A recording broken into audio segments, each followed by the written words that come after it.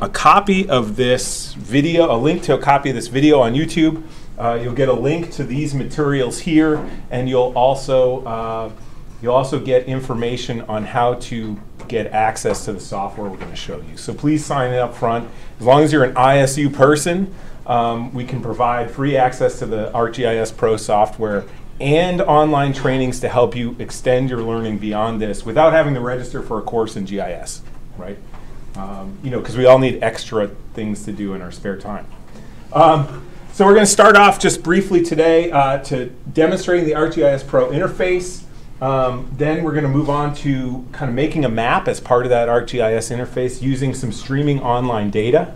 Yeah, come on in. Don't forget to sign in though uh, up here. Yeah, sorry. Um, and then how to kind of export a map. You could stick it in a PowerPoint presentation or in a journal article, right? And some things to think about there. Uh, then we'll move on to actually creating data and getting um, kind of map data into ArcGIS Pro. Uh, how to make your own GIS data with attributes attached to it. Uh, these attributes are like things about a specific location, point line, or area feature that might be out there. Uh, then we're going to look at some of the tools that are baked into ArcGIS, more in a kind of introductory fashion. Here are where you would find tools that do this, rather than let's run every single one of these tools, because we don't have, in a two hour period, enough time to demo every single tool. Because there are literally probably between 10 and 20,000 different tools to interact with spatial data in some way within this software. Uh, but we'll show you where certain ready-to-use tools are and where other tools that form building blocks of very complicated analysis chains can be found. Right? Uh, and then finally, or not finally, next step, um, and each of these will be maybe about 20 minutes, we're hoping. Next step is finding data and where you can learn more about how to use this software. You can always take a GIS class within the department here. Dr. Badillo teaches them, I teach them, Dr. Obermeyer teaches them. Uh, Dr. Berta um, and Dr. Wang teach geospatial information courses as well in the remote sensing side of things, which is a very similar parallel technology, um, air photograph analysis, satellite image analysis, etc. Um, so there's a whole suite, probably uh, almost 10 uh, or even 12 courses that deal with geographic information systems or remote sensing here at ISU. Um, but if you don't want to, you know, audit or take a course, there are other self-guided training opportunities that uh, you'll get access to. Uh, and then finally, we'll end with some examples of GIS projects. Um, Dr. Badillo has brought a couple that he's been working on, and I could talk a little bit about some of the things that I've done as well. Or some of you I know have used GIS before, and maybe you're just getting used to the new interface in ArcGIS Pro. Some of you, we welcome your input too. All right? Any questions about kind of the format and what we plan to do? All right, again, if you want to follow along, you can. The data I'm going to be working with can be downloaded at this uh, address. You will have to sign in with your ISU credentials. Um, and with that, and you probably don't have ArcGIS Pro on your own computer. The lab computer's here. You just sign in with your ISU credentials and you can get access. All right, so to dig right in, um, ArcGIS Pro is very different, at least in appearance, from ArcGIS Desktop, or it used to be called ArcMap, and even before ArcView. So if you've used GIS before, you've probably used this piece of software over here on the left-hand side, ArcMap, some version of it, and it might have, or it might have been called ArcView. For those of you who've been doing this for like 20 years, like me and some of the other faculty in the department, you might know other uh, ARC software uh, that we don't use anymore. It's kind of out of date, right? Um, ArcGIS Pro has some advantages over ArcGIS Desktop. It's a 64-bit um, piece of software, which means it can address and process data more quickly. It can use multiple computer processing cores, so it's a, a lot more efficient at processing data. Uh, that said, it does have some, some somewhat stringent requirements. I'm going to fire up ArcGIS Pro here. Uh, the requirements include at least 8 gigabytes of RAM on your computer, a multi-core processor, um, and it's good to have some kind of discrete graphics card, right? Uh, those are, I think I would consider the minimum requirements. It's better to have 16 or even 32 gigabytes of RAM, to be honest with you. Um, I have 32 gigabytes of RAM in my um, computer, which I doubled on my own price, uh, on my own, just because 16 was not enough um, to, to be efficient for me. It's good to have more. RAM seems to be the big um, choke point, but you can run it effectively with eight gigs. Um, if you're cur- if you're um, if you're brave, you can try it with four. It will run. You just might get frustrated. Also, ArcGIS Pro is it works well or better, I would say, with 3D uh, 3D data. So if you have 3D data or you're going to be working with that, I would definitely tend towards this one. Uh, but then at that point, 32 gigabytes of RAM is probably required. Probably required, yeah. Um, this lab is, by the way, open during business hours when there aren't classes in it. Um, so if you have a need to have some more hefty processing power but don't want to, you know, insist OIT upgrades your computer, they say no, um, you can come here and use these resources when we don't have class. Um, I haven't made a schedule for the room yet. I usually post one on the door so people know when classes generally meet. I just haven't gotten around to it this week. Uh, when you first start up ArcGIS Pro, you're presented, uh, unless you tell it to never show this again, you're present, presented with a uh, kind of load screen, and it gives you some a list of recent projects if you have any. In this case, it's a lab computer. It gets wiped. We don't have any new projects. And some templates for what you might want to work with, um, and then an ability to open other types of projects. Right. For the most part, when you interact with ArcGIS Pro, you will either be creating a new map or if you're doing 3D stuff, it might be global or local scenes, right? Um, a map, eh, or you might start without a template. Now the difference between these two things is a map will create an entire project folder complete with data storage databases and everything else that you might need to enact a full-fledged project. Whereas starting without a template will not create all these file structures in your, in your documents folder. So it's kind of up to you. If you're creating a project and working on it long term, you might want to create a map and go from there. A lot of times when I'm doing demonstrations in class, I don't really need to save it later on, so I start without a template and go from there. Right? For this, um, I'll just for the sake of things, we'll start a new project here. It'll ask you to name your project. I'm going to call it um, "Don't Crash," "Do Not Crash," um, and it'll ask where you want to save it as a faculty member who teaches GIS, one of the things that's always frustrating is that um, students, and actually to a great uh, increasing degree, many faculty even and staff, are used to clicking download and have it, being able to click in some list and have it open. But with GIS data, you have to be a lot more on top of where your files are stored and where they're going and where you're saving them to.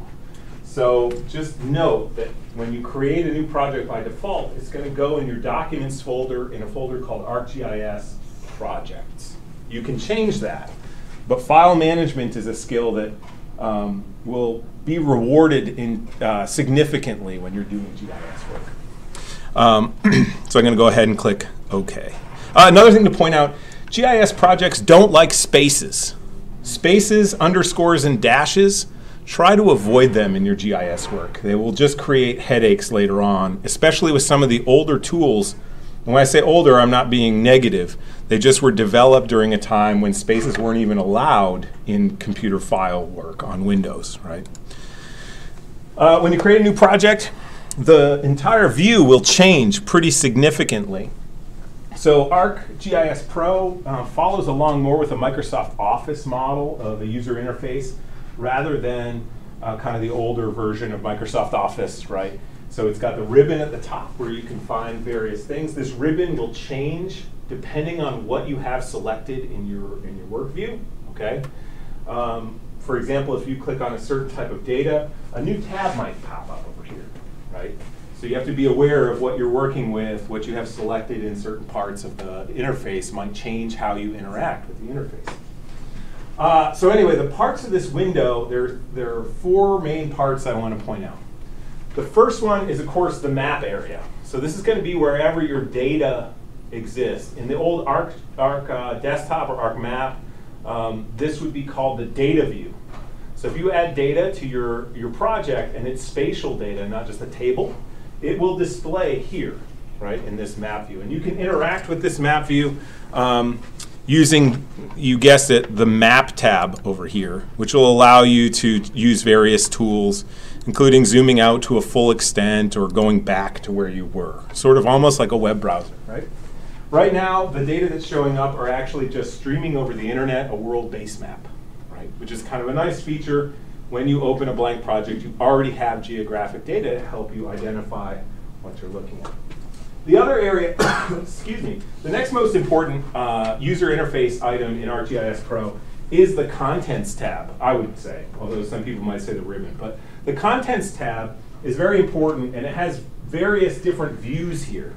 When you add data to your project, which we'll get to in a moment, the data will show up here, and whatever order is displaying here, in general, there are some exceptions to that, whatever order these items are displaying will be the order they're drawn.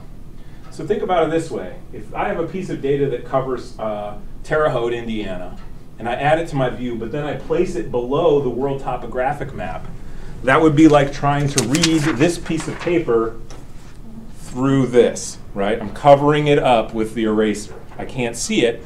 I have to change the order by dragging and dropping in this area, right? In the in the contents pane. Does that make sense? Yeah. So what you see is sort of what you get: top, bottom, right?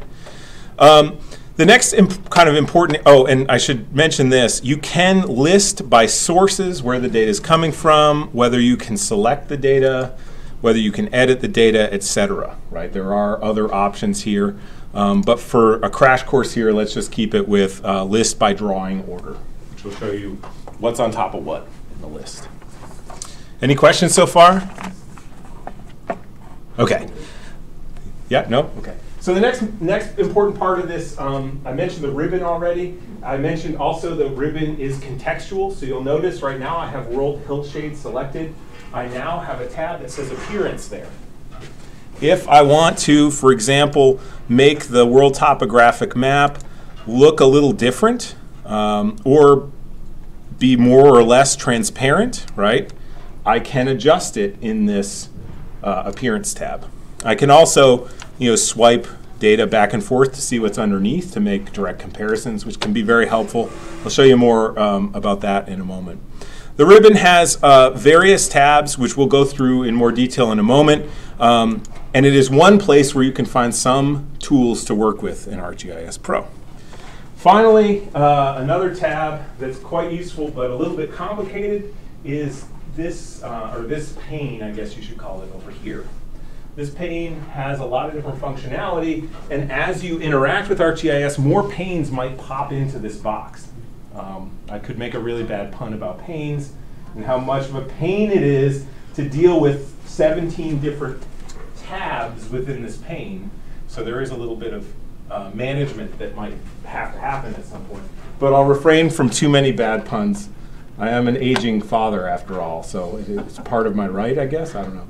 Um, you should note that right now we're looking at a geoprocessing pane, but there's also a pane here for catalog. Okay?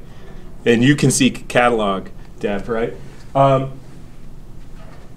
I'll talk more about catalog in a moment because there are multiple different ways to interact. Well, I guess let's talk about catalog briefly right now. So catalog can exist in a pane or it can be a window here in the middle, right?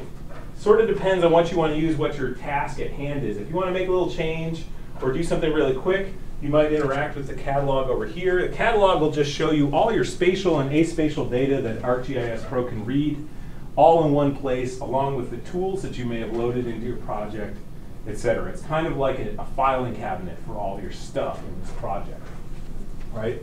Um, excuse me. It'll also show you your history in case you ran a tool and you want to see what you did. You can go back and actually double click on the tool. We'll show you this in a little while if I remember.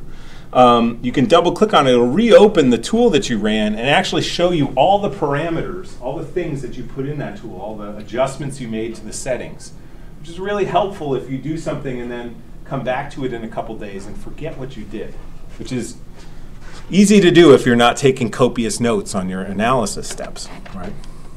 Um, within the project, you might notice there is there are folders here.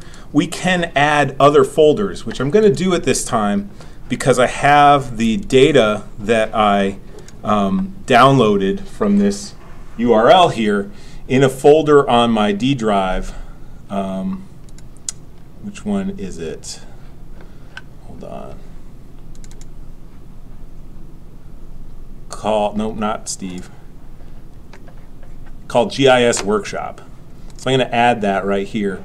And there are three data sets that we're going to work with in this next, in a few moments here, right? So if you want to access things easily, you can add them to your folders in the process that I just did. You right click here, go to add folder. You can access local data, right? And then it's as simple as dragging and dropping here if you want to add it. Uh, or you can use the add data button here on the map tab on the ribbon. I just want to say right at this point, this is usually the, the place where people get lost on how to start using data they may have downloaded or that data that somebody else had given to them, a colleague. But it's just as simple as right-clicking on that folder underneath that folders tab, adding that connection, and then you can start pulling those data. Yeah, that's, it's a good point because uh, I mentioned file management before. It is almost always the, the, the breaking point for a new GIS user. Where's my stuff? How do I add it in there? So knowing where, what folder your data are stored in, even if it's just your downloads folder, uh, is important. And another thing to note is after we have started a project, it's good just like back in the day when Microsoft Word didn't autosave. Save your work. There's a quick save button up here. Once you save your project, these folder connections will remain with a caveat. If you have a folder connection to an external drive, there's a 60% chance the next time you put that external drive in your computer and want to do GIS, it will change the drive letter on you. So it used to be D, now it's F. Um, inexplicable, guaranteed every time it's going to mess you up. At that point, you might need to reconnect or fix the connection, um, which you can usually do by uh, right-clicking here um, or adding adding the data to your thing and then changing the source, which I'll show you how to do. Deb. So, Steve, are we supposed to be able to follow along with you right now, looking at the same data? If you downloaded the data from here, um, and then you would add your folder you downloaded it to, uh, and then you can follow along if you want. But I, in case you missed it, I, I will send a video of this out um, after I upload it to YouTube probably tonight, along with invitations for everybody to get access to the software and training, etc. All right, so you want to, yeah, Jim. Is that the technical, are you recording this right now? I am recording this right now. So your voices are on it. if you don't want to be heard, you know, raise your hand and be like, you know, pause it, and I will. Um, okay, who wants who wants to see how you make a map real quick? Yeah, yeah me too. Um, so you can make a map with your own data, but Esri now, uh, the software vendor, has a lot of hosted data that you have access to if you have a valid license. And so for classes in particular, this is actually a really useful way to allow students or uh, yeah, to allow students to interact with real up-to-date data without having to deal with as much of the file management stuff that often trips them up. So within um, within the map tab here, we have our map open, and we can always, by the way, add a, a second map or third map or 15th map here in the insert tab by clicking new map, right? But let's just work with one to keep it simple. Um, you can change the base map, so that's the stuff that's in the background. Right now we have a combination of a hill shade, which is kind of a 3D elevation shading uh, display, and a topographic map.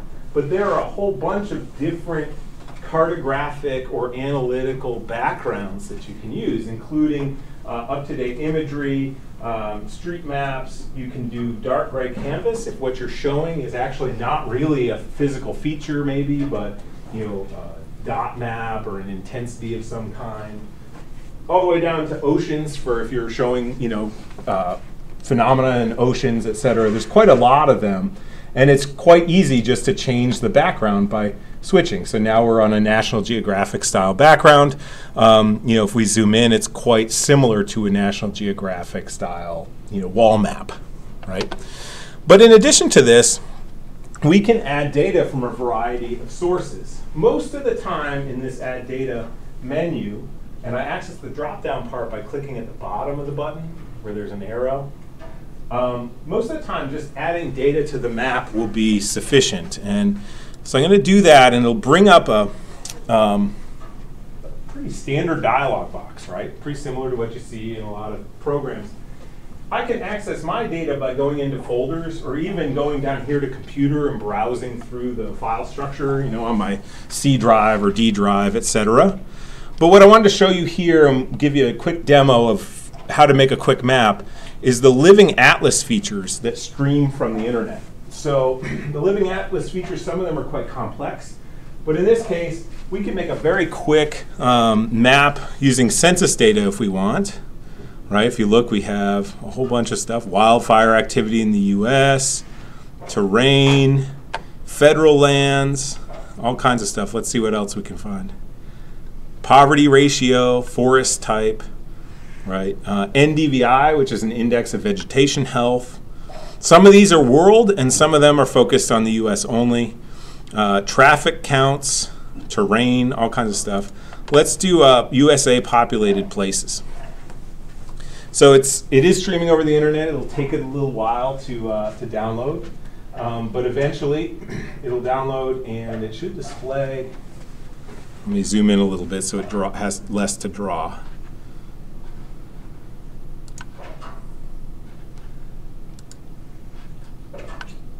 Yeah.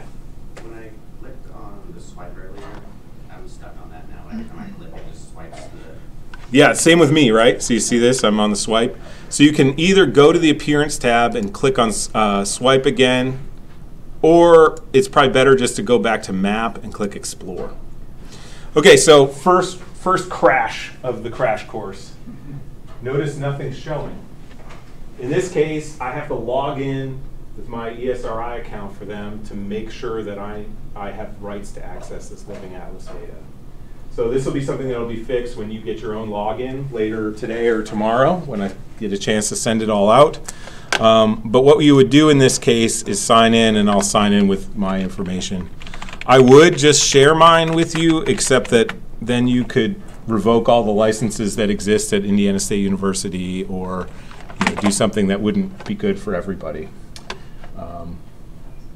Here we go. So sorry about this, but you'll be able to, to do it yourself in the future. Maybe. Here, let me try adding it again. Could be too, we're all clogging up the local internet. Come sit down. All right. There we go.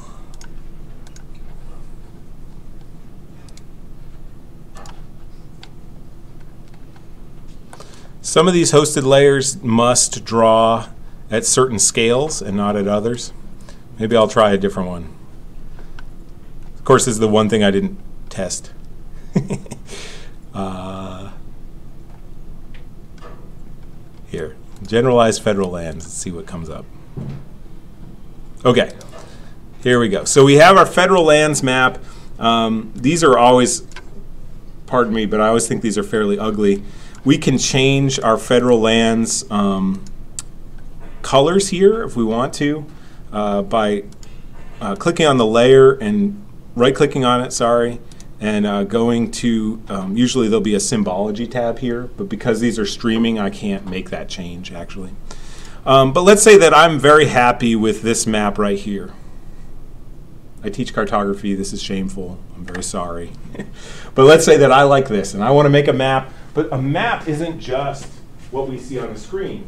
It is what we see on the screen, of course, but also a legend, a scale bar, a title, maybe a north arrow, right? All these things need to be on there. So to make a map that we could maybe export for use in a PowerPoint, you know, or a presentation of some kind, a journal article, we actually have to insert a new layout, right? That's uh, in the Insert tab. Here's a new layout. And we have to choose what page size and what page uh, orientation you want to pick. Can I interject here? Yes. Anybody who is a user of 10.5 or something like that in ArcMap, this is the completely different part, and this is where you could easily get lost. So, just just putting that out there. If you're used to the other way, this is a different method of actually creating a layout and exporting it out. Right, in Arc, in ArcMap, it was called Layout View, and you got to it with the little teeny button down there on the bottom, left-hand side between the contents pane and the sliding bar, Yeah. right? Um, half the people in the room are like, what? uh, I recommend when you're creating a layout um, for digital purposes that you actually err on the side of higher resolution, larger size, which sounds weird, but storage space is fairly cheap. Um, the one exception might be if you're putting this on the web, right? But storage space is pretty cheap. You can always resample or scale down or shrink an image. It's tougher to take a small image and make it bigger, right? It's not going to look as good. So often, if I'm making something that's going to go in a, in a conference presentation, um, I pick something like a tabloid size layout, either um, landscape or portrait, and that's how I that's how I work, right? And that way, when I export it to a graphics format like a JPEG or PNG or a PDF, I can resize it if I need? Um, okay, so now what we are looking at is actually a page, and it's pretty close to how this page will look when we send it to the printer, right? Or when we export it as a PDF or graphics format. So the first step is, well, okay, we have our layout. What do we put? How do we get our map in here, right? Well, um, in our new layout here, we can add what's called a map frame. And you'll notice I have a default extent, or I have what I'm currently showing in my map over here, which is a 1 to 6.5 million scale map. Notice it's down here, 1.1 one unit on the map equals 6.5 some odd million units on the ground. This is what we call a representative fraction in geography. You're probably all familiar with it, but it's a unitless measure of scale. So you can make one pencil length measurement on the map equals that many pencils on the ground, etc. Right? So I can either add a frame at that scale, which I just click where I want it to go, and that'll be the bottom, or I can create uh, an extent of any size, and it'll place the unzoomed map in there, right? But I don't want to do that at this point. I want to make a nice map of my own, right? So I'm going to zoom that out. It's going to redraw. Maybe now I have a little bit more area. I have a higher, uh, uh I'm sorry, a finer scale here by about a million, right? And uh, now I want to make a quick layout. I'm not going to be perfect here because in the interest of time. But maps, like I mentioned before, typically have uh, a legend, so we know what each one of these colors means, right? They have a scale bar, so we know approximately what size this unknown area really is. And they might have a title so that we can understand what is what we're seeing on the map. So the first thing, and they might have a north arrow too. It sort of depends on scale and preference. Um, it's a fight we get into in cartography often. Like, you said I should have a north arrow, except for when you shouldn't. Um, to add a legend, we just, in the Insert tab here, we click on Legend and we draw a, a box about where we want that legend to be. And ArcGIS Pro will place a, a totally unacceptable, terrible legend in there. Right? So, what are some problems with this legend? Um, one, we can see all the way through everything, so some of the features on the map are actually making it hard to read the legend, vice versa. Two, um, it's just repeating the same thing over and over again, right? So we'd prefer it just to say one thing. National map, federal lands, that's descriptive. We could guess what it is, but it's not really suitable for you know an audience. Um, and then USA underscore federal underscore lands is also sort of like, well, it sort of says that below. That's not very pretty. So we can interact with this in a number of ways. Um, mainly, by double clicking or right clicking and going to properties, we can change a number of things about our legend, including um, what legend items are in there and whether we want all of these items to be displayed. So right now we have layer name and its label displayed.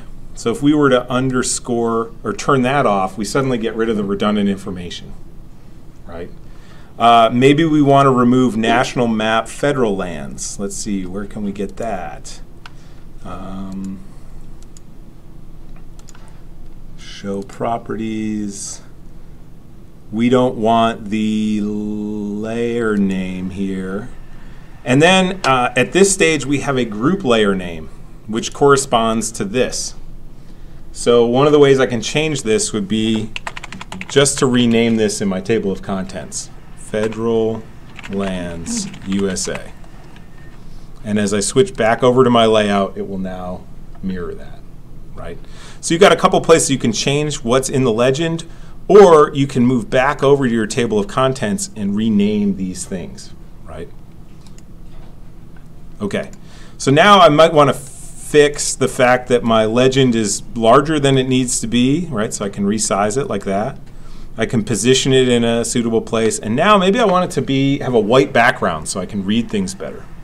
Uh, in this case, um, I'm going to choose to display a background in white, right? Oh no, my legend has a box that's bigger than the white background.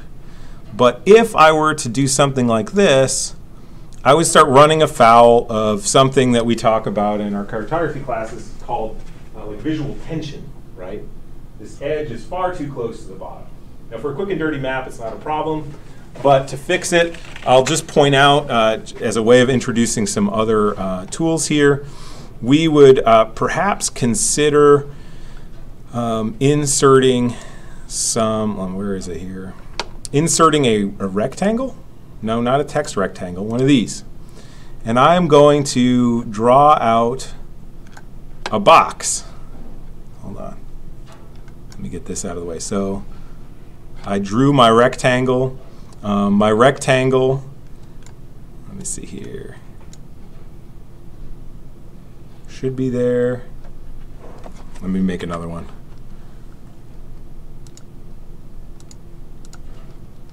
Rectangle. There we go. My rectangle is probably currently empty. It's a black outline. So what I'm going to do is, yeah, it's a black outline right now. So I'm going to change the, uh, let's see here.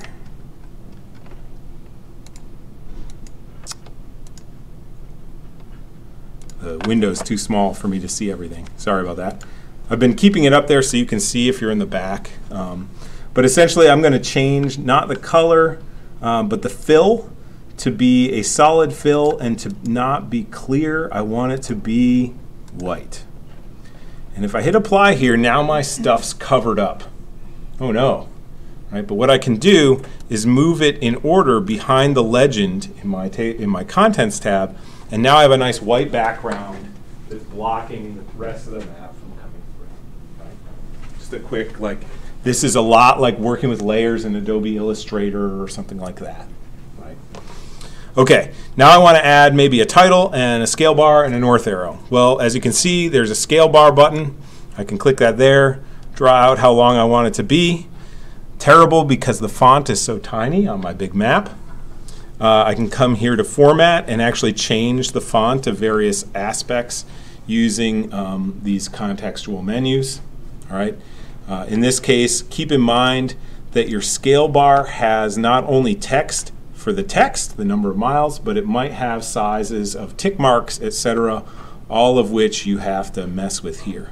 I'll point out that different scale bar designs are available here as well. I'm not going to go through tweaking every single one of those, but you've got the location to go to insert that. And then finally, uh, maybe a north arrow, same kind of thing. Um, I'm going to tell you right now that the options for north arrows available in all Esri products are awful and ugly, although that's my own personal opinion. Some people disagree. Uh, but I think they're all terrible, and um, I would make my own if I were you. Uh, except if you're in a hurry and don't want to. uh, and then finally, you can insert text, including things like a title um, with various uh, formatting, using um, inserting either a symbol here or inserting dynamic text, which would update according to the properties of your project, uh, or even a text box like this one, which I can draw out. Um, my ugly park, uh, federal lands, right? map. Um, notice that the default text size here is pretty small. Um, in this case, I can change the format here. 12 points, that's not a very good title size. Uh, maybe I make it bigger, right? Whatever. And then you can position this where you want it to go. Let's pretend that my ugly map is ready, right? How now do I take this beautiful uh, forest map, um, or I'm sorry, federal lands map, and turn it into a product that I can put in my PowerPoint presentation and not have it look like garbage. Well, uh, in ArcGIS Pro, you share data, whether it's an export or actually the data itself, here in the Share tab. And so I'm actually in my layout view I click on the Share tab, and I have an Export Layout button. You can also print from this tab, right? In this case, I can uh, I click Export Layout. A dialog box will come up. A couple things to pay attention to. Okay, one you can save as a variety of file types. Some of which will go right into something like PowerPoint or Word document, no problem. Others, like scalable vector graphic (SVG), will not. Right? They're not really. I mean, they will a little bit, but they're not really designed for for um, desktop publishing or PowerPoint. Um, others are going to yield, they're largely uncompressed, so they're going to be large file sizes, but they might be what your journal wants from you like a TIFF file. Uh, and then PDFs are a good way to share maps with collaborators because they're self-contained and usually have a reasonable file size. So let's say I want to make a, uh, a PNG file to put in my PowerPoint presentation. There are two other options you should be aware of here. One is your dots per inch, your, your screen resolution. If you're putting this in a PowerPoint presentation, 96 DPI, 120 DPI might be okay, depending on the resolution of the projector. I would just say put it up at 160 or so for on-screen, just to be safe. Uh, for publication, it's going to be 300 DPI or 600 DPI, right, is what the publisher is going to want. Probably 600 DPI. Another option here is clip to graphics extent. This is up to you. If you do not click this button, the export will include all this white space around the edge. You might want that. You might not want that. It's kind of up to you. If you click that box, it will clip it only to the very edge of the map and you won't have all that white space around right? Okay, so let's say I save this at 300 DPI and I clip to graphics extent. I saved it to my desktop, I think. Practicing bad file management skills.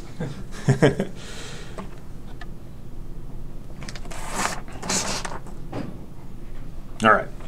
And it, because I said 300 DPI, it's fairly high resolution. It'll take it a moment.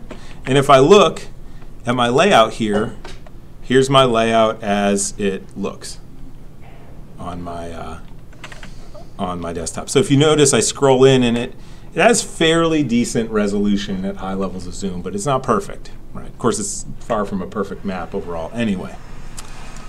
All right. Can I say a couple of things? Please. So, um, users in the past, you may have noticed export was the word they used to actually get those maps out. Nowadays, it's turning into share because of the interactivity between this software and a lot of the online tools as well. So it's not just sharing and making a static map, but also sharing with some sort of online service. Um, and the other thing, would you mind um, showing them how to activate the frame so that you can zoom and Mm, move yeah. in and out? Because that'll be frustrating for anybody who's making a basic It, map. even somebody who uses this software a lot, it's frustrating. All right, so if you're working on your layout here in the layout view, and you're like, wait a second, I don't want to show this part of the US, I want this view to be zoomed over to the west a little bit more. Well, if I click on it in here and I move to the west, I'm, it's like I'm holding the map in front of me and going like this, right?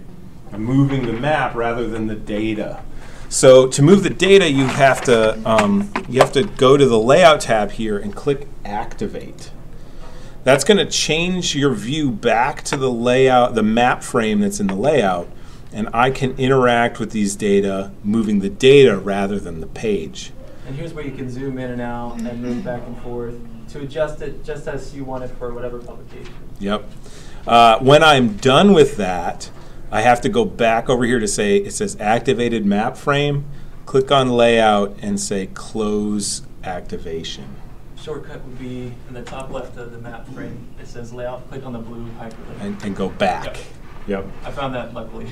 I've Earlier. I learned something today. so uh, keep, you know keep these things in mind. It's a little bit different than the old way. If you're not if you've never used the older software, this is uh, this is probably one of the least intuitive aspects of making a map was that switching between the data frame, the data moving the data around and moving the page around. Right. Any questions about that kind of quick and dirty, very dirty, ugly demonstration? Okay. So you might be thinking, all right, this is great. Uh, you can look at some random data set and make a lousy map of it and then export it as a PNG file. Well, actually, most of the time, you're hopefully going to be working with your own data, and you might be wondering, how do I get data into this monstrous piece of software, right? So using an example from my own uh, research in the eastern Brazilian Amazon, I wanted to show you how you can take an old map, turn it into geospatial data, and then maybe do a little bit of analysis on it really quick. And so by doing this, the goal is that you'll learn how to take an image and turn it into one that's spatially correct, right? So you're taking a, you could literally go and find a map on Google image search and turn it into a, a valid geospatial data set, a picture, but it'd be rectified in space. Um, you're going to learn how to create new geographic data sets and populate them with features and attributes. So we're into item two finally in this section. So we're only running half speed of what I was hoping. But that's okay. Uh, if we only get through overview of tools or something, we'll be fine. Um, so the first step here in a new project like this is I'm going to create a new map. You'll notice I selected, I'm not making a new project, I'm just creating a, a, a new map or whatever. Um, I'm going to insert one of the new, one of the um, data sets that you can access here, um, and that is, it's in my folders. Oh yeah, I have to connect to a folder again um, using catalog. Hold on. Catalog, folders, because I created a new project for this. D GIS workshop. Okay. So I could add data through here. I'm just going to drag over map to rectify. So this is a fairly high resolution scanned map of the eastern Brazilian Amazon and some property boundaries. Um, we'll explore in a minute. When you add certain raster or image data sets, you might receive this message. It says the raster data source does not have pyramids or contains insufficient pyramids. You might be wondering why are we talking about um, Mesoamerican archaeology, right? Pyramids allow for rapid display at varying resolutions. It's just a data access artifact to allow the software to draw the image quickly so you don't wait so long. Building pyramids may take a few moments. Would you like to build pyramids? Usually you want to say yes, right? In this case, I'm going to say yes because we'll be zooming in and out. So I'm going to say yes. Pyramids will draw. Don't be alarmed by that error message, in other words. It's just saying you might want to do this, but we're not going to do it without asking. Notice you could have checked a box, do this always, right? Um, and you, so I've added my data. Where is it? This is a common problem. Um, in the Contents tab here, we can always find our data set, right click on it, and go to Zoom to Layer. And it will bring me to the most popular place in the Atlantic Ocean. Where are we? Zero degrees latitude, zero degrees longitude, right? Because my image has no spatial reference at all. So it's at the origin point of our latitude and longitude um, spatial reference system, right? So what I need to do, we'll explore the data real quick, and I've got to show you how to make these data fit on the right location on Earth, okay? So this is a scanned map that uh, I got from a government agency in Brazil. It covers the central and southeastern region of the state of Pará in the eastern Brazilian Am- or in the Brazilian Amazon at a one to five hundred thousand scale. It was it has data on it that go from 1970 to 1982. Actually, some that go back as far as 1957. Um, and the area I'm most interested in is this area around the city of Marabá. Um, and what you'll notice is on this map, we have some real world features that we might be able to relate to other real world features to make this scanned paper map from the 1980s fit in today's real world, right? So, and this is a common task where you get, you have a paper map um, and you want to georectify it. It's one of the things that I think many people will end up needing to do at some point. Notice this is scanned at a pretty high resolution so we can find specific features, right? So, uh, but I, but right now I'm at you know the zero zero mark, and where I really need to be is like over here, um, down here by Marabá, right? So I'm going to do a couple things. One, I'm going to change up my base map to be imagery with labels so that I can see what the real world looks like, including rivers, which are going to be, unfortunately, they change. This is not an optimal georectification, right? Rivers, especially in a place like the Amazon, change continuously, but I'm going to work with what I got, right? Um, I'm going to perhaps set my scale here to 1 to 500,000. to match the scale at which my uh, rectify map is set, right? 1 to 500,000. I'm also going to make sure my map to rectify is on top of my world boundaries, places, and world imagery. All right. So now I want to find a, a obvious phenomena between these two places. Right? And I'm going to go with a very important historical landmark called the Parrot's Beak here. Right? You can see it kind of looks like the head of a bird. And I'm going to, um, here on the Imagery tab, choose the georeference function. So georeference just means add spatial information. Link spatial information to this. I make sure that my history majors that take GIS know this one right here, hitting that ge georeference button so they can work with those historic maps. Yeah. So uh, at, at this point, uh, my view hasn't changed much, except now I have a whole new set of tools here.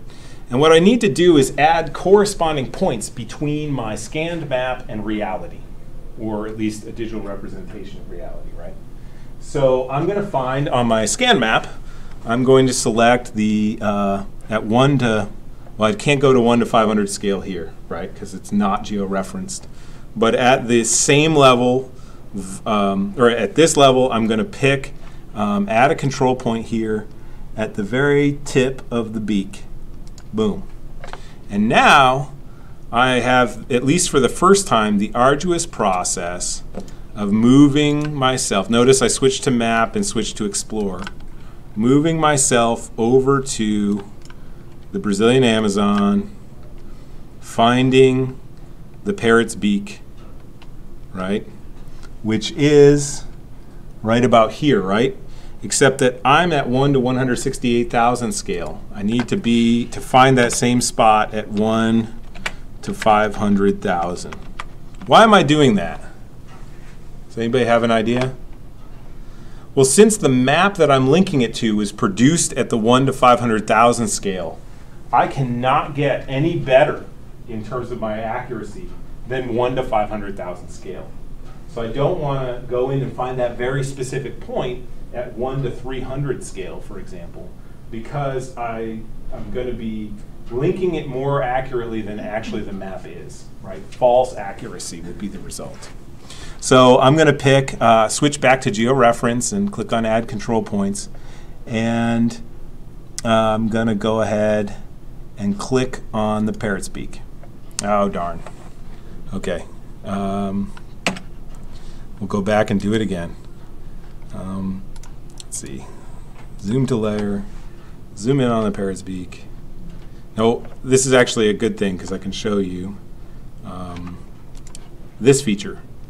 So notice before I had to zoom out and zoom back, all that, now I can just go here to map, click back, back, back, and I'm at 1 to 500,000 scale at the parrot's beak. Click. Okay, good. Now I have to do it again. And actually, to do a map like this, we would want something between 30 and 120 correspondence points if we could get them. The more, the better, right? Um, let's see. Now let's find another good point. And I, will only do three points because that's all that's really needed uh, to do this. I'm going to pick the uh, very historically important in the communist uprising in this part of the Amazon uh, location of Xambioá. It's the town. Again, back, back, back. And now I'm going to zoom out. Uh, darn, I'll have to do this, right? I'm going to turn on my world places and hope that Xambioá is still on there. It's a pretty small place. There it is, okay? 1 to 500,000 scale. Um, darn. I think this is an, a slightly outdated version, so I have to go redo it again. Sorry, no, this is super exciting. We'll go Xambioá. back, back, back, back, back, back. Xambioá. Now look what happened. Because we've given it two good points, it's starting to correct our image and place it in the actual locations that it is, right? So now we just have uh, the ability to, say, pick a place like And at this point, we probably want to stay at 1 to 500,000 scale because we're in the right vicinity, right? So I'll make sure we stay there. And I'm going to pick, um, maybe by comparing these two, a little bit of a, let's see here. Bakaba is not a place that they pay attention to. Um, maybe the edge of this, which is a bad place again, you want permanent features, but for demonstration's sake, maybe this island right here. So I'm going to go on my map to rectify. I'm going to pick my from point or my source point here, and then my to point, which is pretty much the same place, right? Pretty good. Um, let's see, one more point maybe, and I'll do it down in this zone here at 1 to 500,000 scale. Uh, and we can pick, let's see, explore a little bit. We can pick this point, Pelada, which is the world's largest iron mine, right? We'll pick just the central location. Again, not I'm not I'm not showing you ideal practices, and we can find uh, maybe Serra Pelada is actually here, right? Once we've gotten enough of our correspondence points, um, we're going to look at a couple things. One, um, I don't know, Alex, I haven't done auto georeferencing yet. You were saying you had okay luck with it? Yeah, it, but you have to have some maps that are very similar. Yeah. That'll work. So, So somebody gave you a JPEG of a map that you want to get into your geodatabase where it's supposed to go, and there's enough detail in that map, you could just place it in there and hit auto georeference and hope for the best. Right. And sometimes it works, sometimes it doesn't. But since this is satellite image to a historical, uh, probably somewhat hand-drawn map, right, we're not going to do that in this case. Ideally, like I said, at least 30 points here. Um, I'm going to go ahead and save as new my georeferenced image, okay? So I'm going to save as new. Why am I saving this as new? Well, if I save it, it'll overwrite my original data with georeference, which isn't so bad, but I, I want to make sure that I'm keeping my original data in case I totally foul something up later down the line, right? So in here, I'm gonna, you'll notice when I click Save as New, uh, a tool called Export Raster came up. So I'm just gonna go ahead and you should look at your coordinate system, et cetera, what you wanna um, include. In this case, all of the defaults are actually what I want. Um, and at any time, if I'm not sure what I want to put in here, um, these, uh, let me see, let me try to make it a little bigger. Most of these tools have a little link for help up here. You can click, it'll open up a web browser and show you the detailed documentation for each one of those tools, right? I'll go ahead and click export and it'll add my rectified map. Uh, I can't save it on this computer in a default folder. Um, I'm going to call it rectified. And uh, when you work with rasters or images, you do have to tell ArcGIS Pro what extension you want to use. Do you want to save it as a TIFF file? Do you want to save it as a JPEG 2000 file? Don't. uh, I've had more trouble with those than I would like to report. Do you want to save it as an ERDAS Imagine image file, which is another uh, image processing software? That's a good one to pick sometimes. Do you want to save it into a geodatabase, which is a type of uh, data that you that will create actually in a moment? So I'm just going to save it as a TIFF file for now, um, and it will run the geoprocessing and give me a, an exact copy of this, but now located in the proper place. Good practice when you do this is actually to save your control points as well by exporting them. You should also look at your control point table, which will give you your X and Y residuals and your overall residuals in your correction. Uh, eventually, it'll also give you a root mean square error that tells you how much, how off you are. But in this case, because it's a kind of working example, I don't have enough points for it to calculate that properly. Right. Uh, failed to export. Why? Rectified. Did you actually hit export again after you? I might not have. no, it says failed to export. Up because it changed back. It's annoying. All right.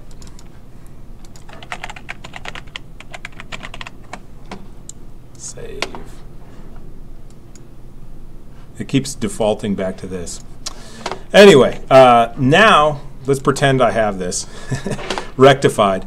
At this stage, I have an image, but I don't have, I have geographic data in the sense that this image is located in space correctly.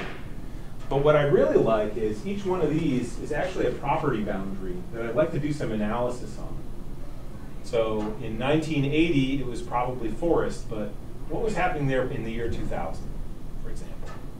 But right now, I can't really overlay these two things and make measurements about forest cover or anything else, or even the size of this unit, because I just have an image. So what I really want to do is um, what we call on-screen or heads-up, because you're not looking down at a, a table, you're looking up at a screen, digitizing on top of this image that I've now located properly in space. The first step to do this is in your catalog pane over here, I need to create an empty data set to put my digitizations into. Right? My, we call them feature classes. Feature classes can be a variety of things, but the main ones are points, lines, or polygons. Right? We also have things like annotations. You can have text that's fixed in space. Um, but again, uh, that's something maybe you would learn in a GIS class um, with one of the faculty here in the department that I mentioned earlier, or through an online training. There are a couple that work, talk about annotations. So to, to You may have to hit just the general save button until you start creating features anyway. I don't want it to load long. all right, that's fine. Um, let me see, just make sure I've got everything done here. Yeah, okay. Um, now I want to make a new, what I want to do is make that empty data set. In this case, the empty data set is going to be a file geodatabase. File geodatabases are probably, at this stage, the most flexible um, and uh, beginning to be the most widely used type of geographic data in the Esri environment. They can also be opened by other software. They are proprietary, meaning that they are an ESRI uh, product or data format, but they're widely used and they are much preferred to the older shapefile. Now, they're much preferred for a variety of reasons. Um, if you are interested in the specifics, I'm happy to send some reading material or have a very, very intellectually stimulating conversation over a cup of coffee about data formats. Um, but essentially, uh, a geodatabase is going to be more portable, um, allow for larger file formats, and have features related to spatial relationships that you can encode in the data, among other benefits. So, but there are some drawbacks to a feature uh, or to a uh, file geodatabase. The main one being that you have to interact with a file geodatabase in a GIS software environment. I'm going to show you why I say that in a minute, but it's another failure point sometimes with new GIS users. So I'm going to create my file geodatabase. It's going to take it a minute. It'll add in here, sort of like you're creating a new file in Explorer. It'll add in uh, a thing that I can rename. Um, I'm going to make it so that I'm only I'm not dropping the .gdb at the end, and we'll call this uh, example, right? So here in the catalog, it looks like its own standalone piece of information, and it is. But if we were to interact with these data in Windows, don't do this, please. um, it looks like a file folder with a .gdb in the extension. So while my map to rectify, right, is a normal TIFF file, and some of these other data sets appear to be something called a disk image file, which isn't actually what they are. Windows thinks that's what they are. In this case, it looks like a folder. But if we open this up and do something like say, okay, here's a bunch of stuff in here. I want to add my map to my geodatabase, and we drag and drop it in there. Not only will you break your geodatabase, you may break the data that you added to it that way. Or at least you'll lose it because you'll forget it's in there, all right? Instead, we need to interact with this geodatabase here in the catalog or in the actual catalog view, which is another tab that you can open up in here. Okay. Uh, in this case, my example geodatabase, I can uh, add my map here by importing um, or copying a raster. I can go uh, copy and paste it in there. Uh, but really, what I want to put in here is the digitized polygons that I'm about to add. So to do that, my geodatabase now is empty. I want to right click and go New Feature Class. So feature class is what I said before, point, line, polygon, there's a couple other things. Um, there are other things that you can add into a geodatabase. I'll go over them briefly. A feature data set, you can think of this as a folder that you can place feature classes into, right? The cool thing about that is if you have six feature classes in a feature data set and you want to add them all to your map at once, you can just add the feature data set, boom, they all pop in. A table is just that. It's like a Excel spreadsheet, except that you can't click and work around in it as easily as you could in Microsoft Excel. But indeed, a table could come from a Microsoft Excel spreadsheet or a CSV file. Uh, a view would be something like this. We can't create one of those. We would save it to there. A relationship class is a relationship between features or um, tables. Again, this is kind of somewhat down the road. If you're working with large tables and large data sets, you might save one of those in there. A raster data set is just going to be a, an image similar to this map in the background. And a mosaic data set is a, essentially an assemblage of rasters that line up right next to each other, like a tile mosaic might on the floor, except that there's no spaces between, hopefully, right? In this case, we want to create a feature class. When we click on that, we come up with a nice little wizard here. We're going to name it. I'll call it properties, right? And I have to choose what I want to put into this feature class. In this case, I want it to be a polygon. Notice there are, what, seven different options there, right? Um, points, lines, and polygons are the most frequently used. Uh, you also have a chance to include m values and z values. Without getting into the gory details, M values are only needed for routing or routing, um, however you want to say it. Um, so this would be like, you know, logistics or navigation data sets. Well, we're not doing that here. Better to not include it, to be honest, because some tools will erroneously read data in an M value field within that feature class. Same thing with Z values, which are elevation. Um, I had a nice 45 minute conversation during one class last semester about Z values.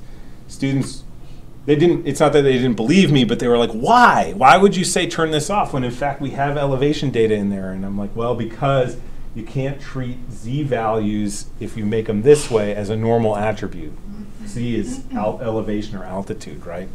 Um, it constrains how you can use the data a little bit. Anyway, like, too much detail there um, we can we can leave that off. I'll just leave it in for now. Um, then we can have fields. In this case, fields are the attributes you want to add to your feature classes or your polygons. In this case, I might want the farm name, right? Because uh, these are actually farms, right? Property name. Uh, if I happen to have it, I might want to know about owner name as well. Put that in there, right? Uh, and then for each one of these attributes, I have to choose the data format. You can store things, of course, as text or date, right? Um, you can store things in various data types, integers, both short and long format, um, double, which is a uh, floating point, but it's not a full floating point, and float, right? If you're not familiar with what these terms are, uh, let's summarize it really quickly. Text, date, number without a decimal point, bigger number without a decimal point, number with decimal points. To talk about it in terms of data storage, some, not much, not much, a little bit, a lot, right, in terms of how much space it takes on your computer. When I say a lot, we're not talking about an insane amount, right? We're just saying a lot more, more than double what an integer would be. Uh, in this case, both for farm name and owner name, I'm going to save text because it's just the words, right? Next, I have to choose my spatial reference. Again, we could spend an entire semester talking about spatial reference, which includes coordinate system projection, essentially how you take a round Earth or a spheroid Earth and make it flat on a screen, right? And also datum or origin point and other information about that coordinate system. In this case, my guidance to you is you need to select one that's, that's um, good for your locale, right? In this case, um, we didn't mess around with it. We're going to stick with the default, right? But that shouldn't be the case for your project. You also want to think about what you want to do in your project. Do you want to measure areas and distances accurately. Well, some projections can do both those things fairly well, but those projections aren't so good at covering broad areas, right? So you have to kind of find that balance.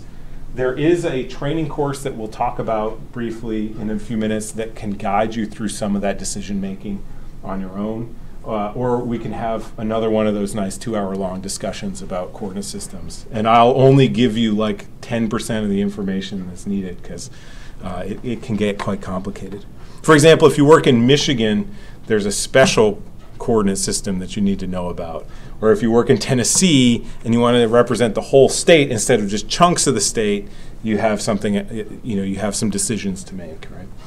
Um, in this case, I'm going to stick with what everything's in, although I'm going to point out that default will not allow you to accurately calculate areas um, or distances because it uses degrees as its unit of distance and area.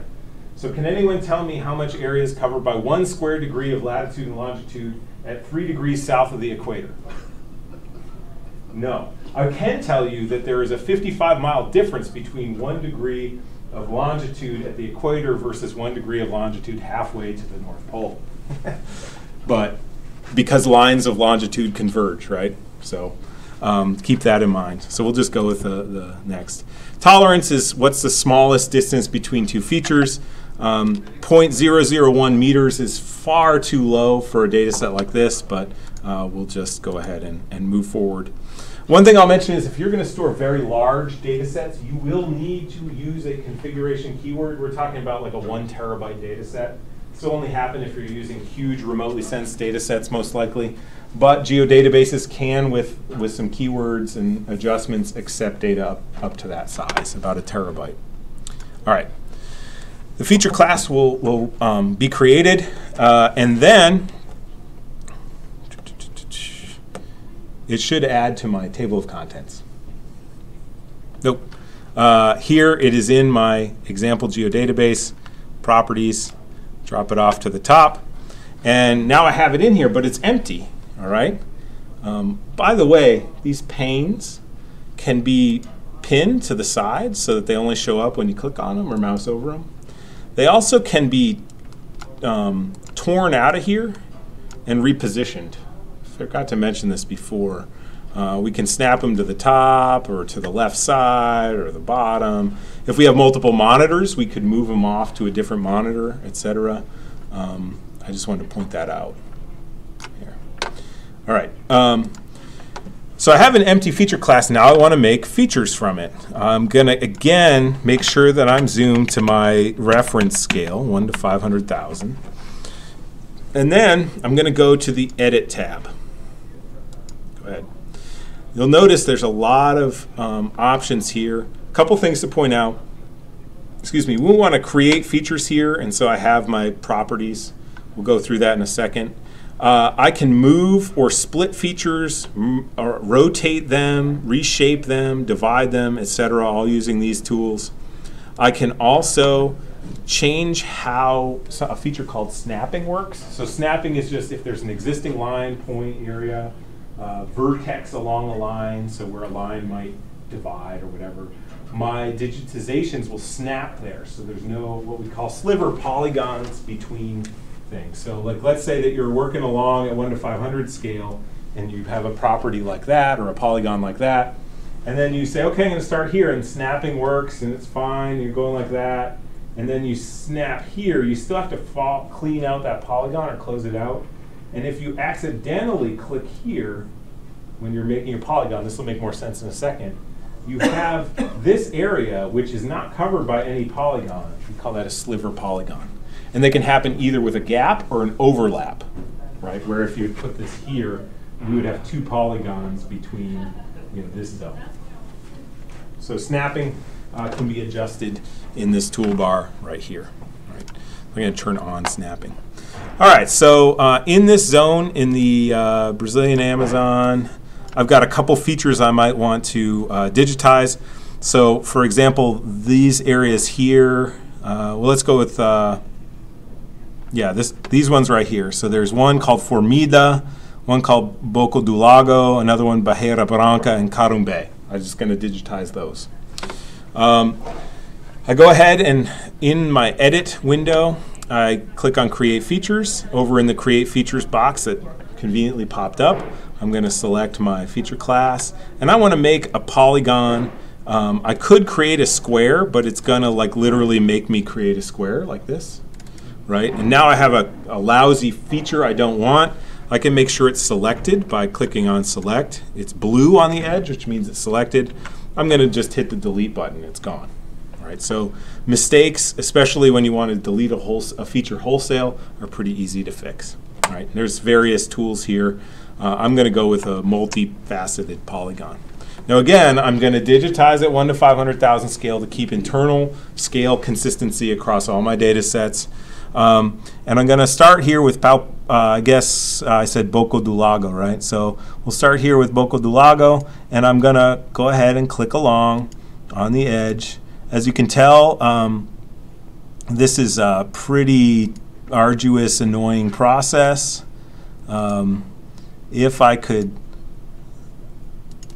uh, and I double click to close out the shape, right? So that's the first one digitized. If I could uh, get back all the hours I've spent doing this, I might be five years younger. Um, and then if you notice, we added attributes last time. So in the Edit tab, I'm actually going to click this Attributes uh, button, and it's going to bring up attributes on the side. And at this case, um, I have farm name null, meaning empty, and owner name null, right? Well, uh, in this case, I forget what it's called again, Boca do Lago.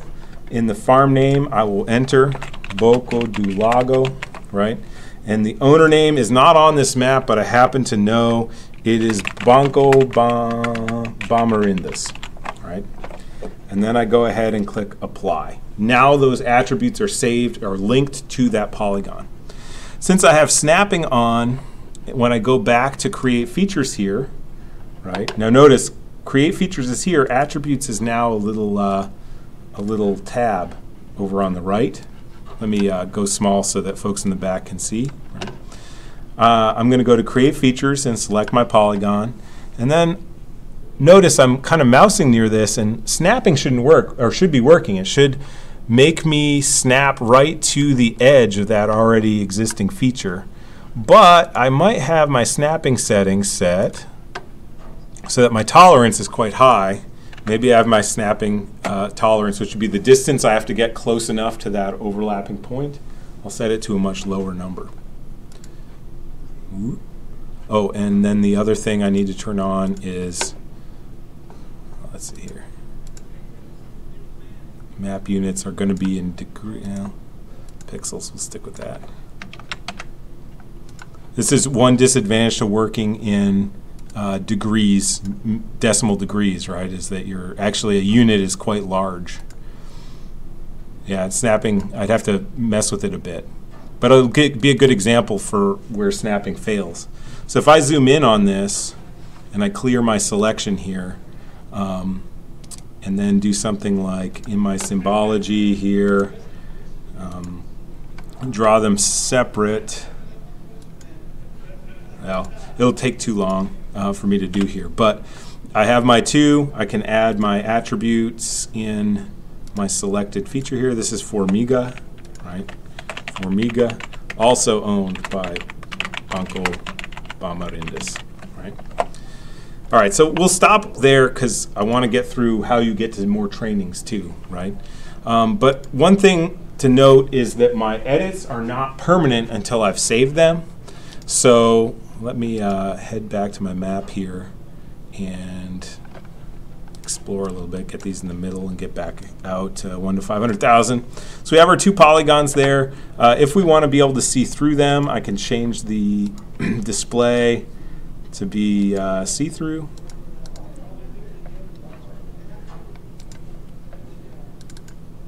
Right, so they're, they're on there, you can see through them. Um, if I want to save my edits, I must click the save button or else it will not be saved. This is to allow like a control Z, an undo function.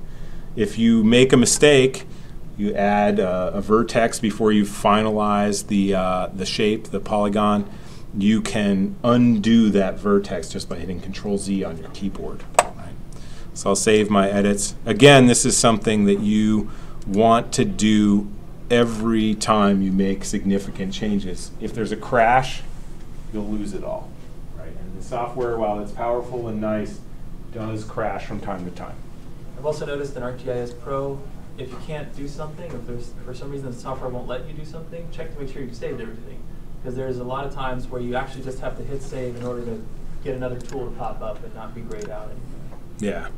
Uh, so to give an example of that Control Z functionality, whoops, I have a, a, vertex that's way outside of where I want it to be. I can hit Control Z and it'll go away.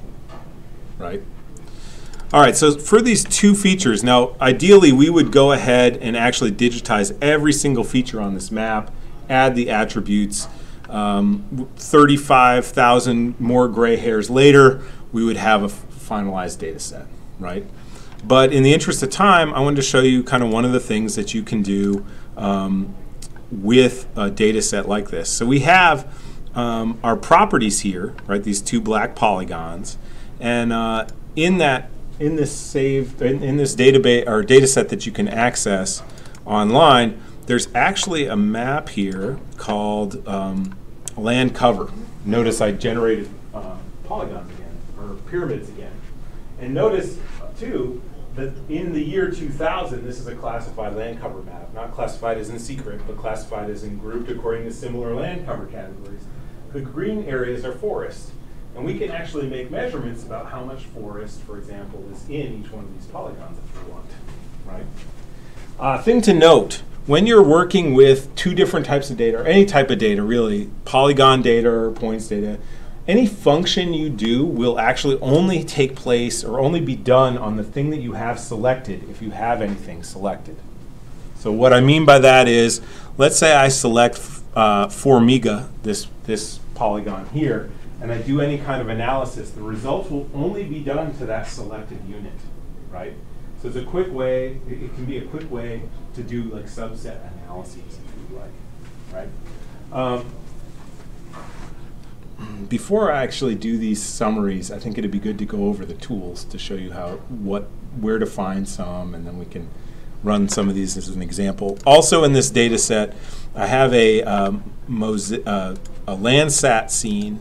So this is a satellite image that covers the exact same area for the exact same date, right?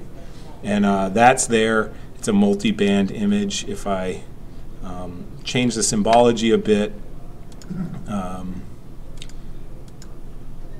it'll look a little bit more reasonable. So really green things are forest, less green things are green pastures, basically. And anything that looks burned like this is burned, or if we look up here, you know, this is an urban area, right? So somewhat true to real colors. Uh, anyway, so we've gone through saving edits, adding attributes, creating new feature classes, georectifying an image. We can edit our data, our, our uh, feature class data if we want. Um, again, you would go ahead to the Edit tab, and remember there are some of these, there's this Modify Features thing. And so we can do things like wholesale move a feature. We can also reshape a feature by clicking its vertices and moving them, right? Or we can add a vertex like so in order to more accurately adjust a feature right? So you can reshape polygons, lines, and points using these modify features things. But um, anyway, so we've, we've made it through section two. Let's show you where the major tools are in ArcGIS Pro. Um, first off, there's the ready to use tools on the analysis tab. So to use these, you have to have the appropriate data in your in your table of contents and you have to have it selected. Um, but if we head over to analysis, you'll notice there are a variety of tools. Um, the ones I'm talking about that are ready to use are in this, appropriately called ready to use, and then also this drop-down menu um, and some of these other ones which are online tools, and then we'll talk about raster functions as well. So ready to use tools, um, we won't run many of these or any of these, but they include things like coming up with an elevation profile or a view shed. A view shed would be like if we build this 10 foot tree fort here, on top of this mountain, how much of the valley can we see? Or I want to build my McMansion on the side of the mountain in this location. Will I be able to see the guy in the valley who has a collection of destroyed cars, right? Um, hydrology allows you to do hydrologic analysis, like what areas flow into what streams, um, or what areas are going to be affected by something like an oil spill, right, upstream. And then there's network analysis that are things like logistics or routing. Um, and some examples of some tool, some problems that can be solved here would be navigation issues, but also things like if I have an incrossable uh, boundary and I'm trying to site a new firehouse in Terre Haute, where we have plenty of uncrossable boundaries when it comes to emergency service, where would I put the new firehouse? Right? These kind of questions can be answered there. Um, excuse me, within the, uh, the drop-down menu here, under the Tools tab, there are summary tools, which allow you to summarize attributes within a certain area. There are overlay tools. These used to be called geoprocessing tools, but that's a little bit of a misnomer since almost all of these tools are geoprocessing. Um, clip acts like a cookie cutter. Intersect sticks two geometries together. So think about it like if you wanted to split Indiana up by county, right? You would intersect an Indiana boundary with county boundaries, and you would end up with a map that has both the boundaries on it, right? Um, excuse me, union will stick two things together, right, side by side. It will not uh, impose boundaries on the other one. And the spatial join is just uh, comparing features in one layer to the other and joining them together based on location. So that's often used when you want to take the attributes from points and add them to a polygon, for example, right? Uh, some other ones in, include what we would consider geostatistics here, analyzing patterns. So kernel density would be an, um, a density of something per square unit, for example. Um, and then these are actually hotspot or, or um, spatial clustering analyses. And empirical Bayesian kriging is spatial prediction based on past value. Um, proximity features include building buffers. This is often the case for site suitability analysis. You want to make a new vineyard. You want it to be within um, 10 miles of a highway. So you find all the land that's within 10 miles of a highway using a buffer. So you have a highway feature. You say, give me a, build this buffer out 10 miles to either side of the highway, right, for example. Uh, near is going to pick the feature nearest to an input feature. Uh, and you can actually generate what's called a near table, which will tell you how far away, sort of like the old um, you know, highway atlas. You had like, okay, I'm going to go find St. Louis, I'm going to find Chicago, and that's the distance between the two. You could generate using the near, generate near table. And then manage uh, data allows you to do some appending of data sets, adding things on the end, right? Dissolving features based on an attribute. So in that example where we combine counties with Indiana, if there was a, an attribute in there that said this place is in Indiana, right, we could dissolve all those county boundaries away based on attribute, right, to simplify our data set. Um, merge is going to stick together data sets again, and then you can sort or calculate fields, etc. I would encourage you to, if you have any students that are interested in this kind of work in your, in your program, have them try out Buffer, Near, Hotspot. These are all very simple tools to use, and they get a lot out of it too. So it's analytical power. Yeah, and, and like optimized hotspot analysis will output a report that actually will teach you more about statistics than your statistics class did, sort of. I'm joking a little bit. I'm teaching a stats class this semester, but it will guide you through the interpretation. You don't have to have taken a college level stats class to actually get useful, valid information out of it, provided you're thinking clearly about the hypothesis you're testing. right? Uh, and then I wanted to point out that you know some of these require network connection. So network analysis, this requires um, that you're signed in to the service, which you'll get to do once um, I send you the invitation to join our organization. Business analysis is the same thing. So give you suitability analysis, et cetera. These are um, going to open up wizards along the side here that you can walk through to do these analyses. And oftentimes they will include canned data so you don't have to um, do that. Now, again, this tool is not licensed because I don't need to use business analyst in my research, so I haven't allocated myself a license. But um, Jim. What, what is Esri Business Analyst? It's plugged in here now? Yes, the website that they have still exists. Um, Get it all here? yeah, you can get some of it here, not all of it here. Um, they'll probably eventually have all of it here. Thing to note with uh, some of the business analysts, and there's also a, a tool called Community Analyst. The licensing agreement we have with Esri allows us to do some things, but not other things with those data. So I can give you a copy of the license and send you to Katie to talk about the legal aspects of using it. But for example, you couldn't use it to help a local business pick a location and charge them for it, for example. Right? Like, so you couldn't run a consultancy using business analysts unless you pay Esri more money. Right. Um, so be, use cases, you have to be careful in some, some situations. Jim? And then they also had the um, empirical Bayesian kriging, but they didn't have other options. Is that, did they get rid of the other options, or are they in there somewhere? They're in there. I'll show you how to get those.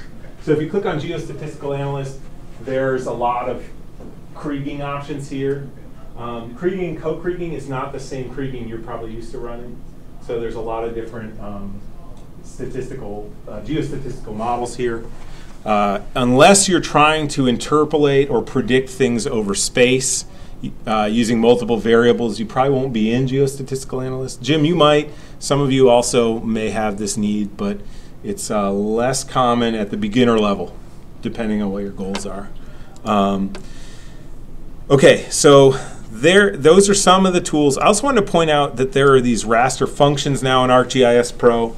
If you have data like this satellite image in the background, you can run a variety of tools if you have the right uh, data in there. So it used to be NDVI was sort of a, uh, which is a vegetation index, sort of a complicated thing to run, um, or maybe figuring out how to, uh, I don't know, run a distance tool, right? Cost allocation or something was fairly um, complicated. Now you can run these temporarily, even so that you, you have like a, a layer output that you don't have to save um, locally to disk. So if I were to do NDVI with my, excuse me, my Landsat image, um, my visible band, um, uh, mosaic, sorry. So my uh, visible band, what is it? Near infrared, or visible band's three, infrared band is four. I can create a new layer. It happens very quickly and it gives me colorized NDVI. In this case, um, most of the features in this area have some vegetation, right? Because it's the Amazon. But these deep green areas are, are higher vegetation index than the lighter green areas. Right? So there are a lot of raster functions that are kind of stuck together in here. And then finally, what um, Jim was asking about is actually, he's like, well, I knew that there was Kriging, but I, I did, don't really want to use empirical Bayesian Kriging, which is a totally different method, although it involves Kriging in the end. Um, you can find all kinds of other tools by clicking on this Tools button, and it'll bring up this geoprocessing search here on the right-hand side. Uh, this is similar to the Search tab in ArcMap. You can type in a keyword. So if I wanted to do Kriging, I can type in Kriging, and I get a variety of options, some of which are the classics, right? Kriging here, uh, both of these are the same. Uh, this one requires a spatial analyst license, this one a 3D analyst license. When I invite you to join ISU organization, you will have access to both. So it depends if you like to pick the first thing on the menu preferentially or the second thing. Um, it's up to you. There are other options too that might be new, like empirical Bayesian kriging. That's been around a while, but moving window kriging is fairly new in ArcGIS. Right? Same thing if you're like, well, I want to know, I have these points I digitized from a map. I want to know what the distance from city to city might be, or from the main city to all the other cities might be. Um, you can put in just the word distance and start looking at what these tools actually do. So in this case, uh, cost distance, probably not. Accumulative cost distance, no. Flow distance, no. Standard distance is, notice I'm hovering over it, I can read more, right? It says uh, the degree to which features are concentrated or dispersed. No. Oh, Euclidean distance. How close something is, right? So I might say, well, that looks familiar, or that looks possible. I want to check it out. You click on the tool, and here's that question mark that I was talking about. You want to learn more about how this tool works and what it does? You go ahead and click on the question mark in the upper right hand corner of the tool, and it will, if you mouse over it, it will bring up a little description, usually with some visuals. If you click on it like I did um, here, it, after a moment or two, it will open up online help. You can download and install offline help if you like. It tells you all about this, including, and I'd recommend if you're not familiar with the tool or you're getting errors, that you read the usage area pretty in detail. Because anything that could mess the tool up or create an error is likely to be listed here. Okay? Uh, it'll tell you the syntax and what each one of these parts of the tool are, right? These correspond, right? In source data corresponds with um, input raster or source data, right? Um, and it'll help you understand what the tool's doing and what each one of these parameters are. Finally, I was going to mention this towards the end, but you can automate processing using Python as a scripting language. And each one of these tools, with almost no exceptions, will have an example in Python if you're into um, either creating your own tools to process data or uh, you know trying to, to learn Python for geographic information systems work. All right.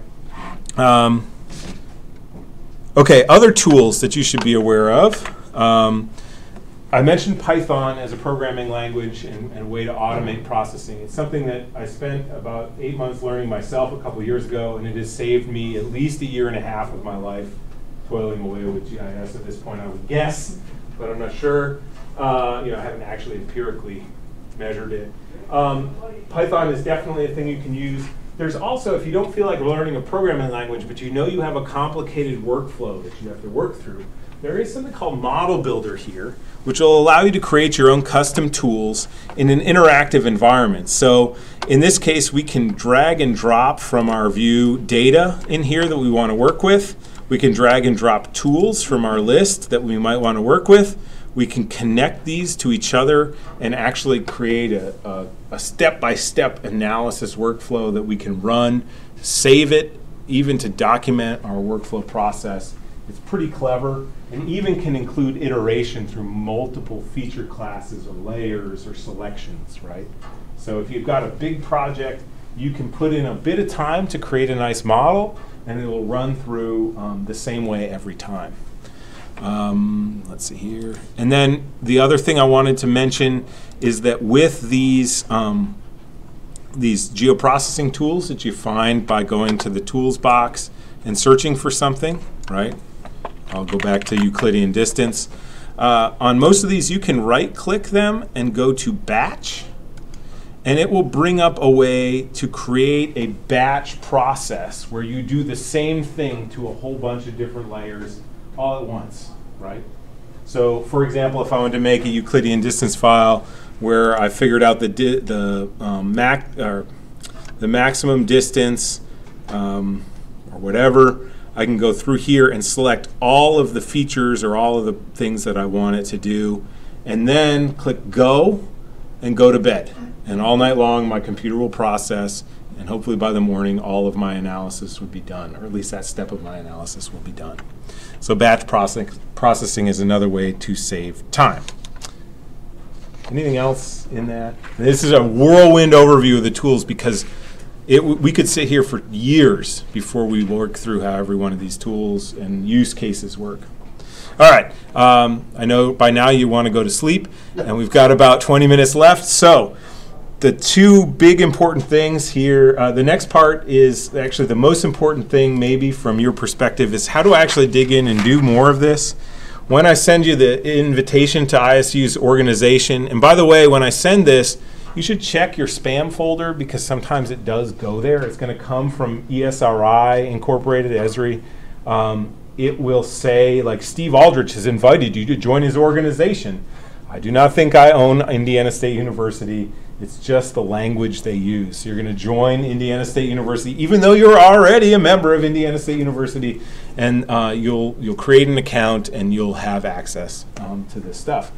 So the the first thing I wanted to show you um, is actually the training.esri.com site. Um, you can find this by searching in Google like training Esri, um, and it'll bring you here if you excuse me if you sign in, it'll show you what's available to you. You have access to most online trainings here. So if we go to the catalog, um, I'll show you kind of how you can search this. Come on, course catalog. Here we go. Um, you can search it either browsing by topic, saying, well, I'm just getting started with GIS, or I'm really interested in scripting and development, or perhaps analytics, right? You can choose these um, and it will filter the courses based on kind of beginner level things. Now, every there's a lot of stuff up here. Some of these are web courses. Essentially, you log in, they'll have a little video, they'll take you step by step on how to do things. And believe it or not, uh, I do a couple of these every year just to either learn new tools or keep uh, up with changes to existing tools um, or just to, if I'm considering assigning one of my students one of these things, uh, just to see what it's about. There are training seminars. These are going to be more like videos that you watch that show you how to do things. And then there's instructor led. Now, instructor led, you would have to pay for, right? They're not included with our maintenance. Uh, I know it's a bummer. Um, they usually, I think they do some of these in the Indianapolis area. I've never taken one, but I've heard they are very effective, although they are somewhat expensive. Right? But if you have three days to dedicate and some money to do it, they are actually pretty useful. And I think we get a discount being a site license holder. Um, let's see, there are a couple other things in here. There are um, like video tutorial, uh, like overview videos and things like that. But anything in here that says requires maintenance, you, you can use once you have a login. Is there such a thing like, you know, ArcGIS Pro for Dummies or some book like that? or- There, there are books too, although Esri's moved uh, with their own products to mainly an online one. I would recommend, um, although Dr. Obermeyer, you use some too, right? You probably have some good feedback. Um, I really like the Mastering ArcGIS series of books, ArcGIS Pro. That's a pretty good one. Uh, it comes like in a binder format or a spiral bound kind of format. I think it's by uh, I Marie Price. It's a very it's a very good one. Um, what do you use, Nancy? I've, I've used Esri products in general.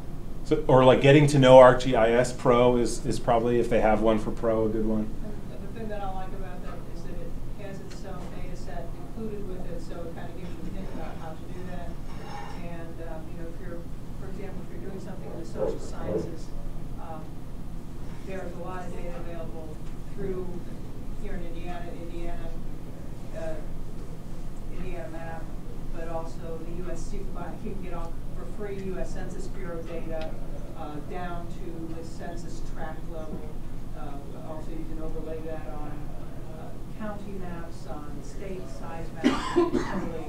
The, the amount, this is one of the things that I think has really just blossomed over the years in GIS, is the amount of data that is freely available, and particularly in more developed countries.